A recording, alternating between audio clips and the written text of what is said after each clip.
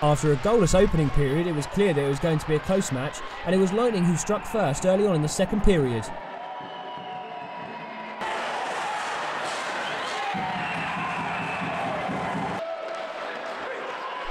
Bison fought back quickly with Joe Greener getting the goal from some distance.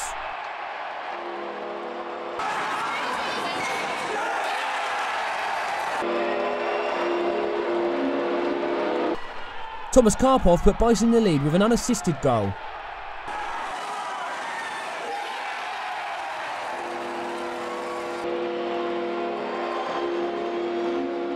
In the third period, Lightning put themselves on level terms, Lee Jamieson taking the game to overtime.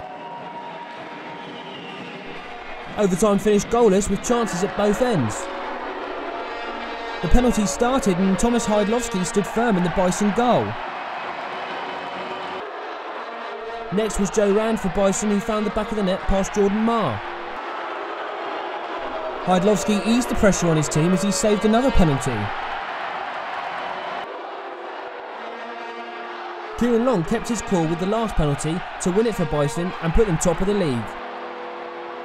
I, th I, thought it was a, a good game. Um, it was an important game for us. It was a bounce back game. Uh, we, we've we lost a tough game in Hull that should uh, probably shouldn't have happened. But tonight, maybe we might not even have been the best team, but we bounced back and found a way to win, which is, is the most important thing. I mean, you, you do have to win the, the series against the top teams. Uh, there is a lot of hockey left to go. It's it doesn't matter who we're playing. We need to pick up points along the way. There's something about this building. Our fans really get behind us. We, we haven't lost yet, so we'll be certainly looking to keep that going. Matt Wilson, Winchester News Online, Basingstoke.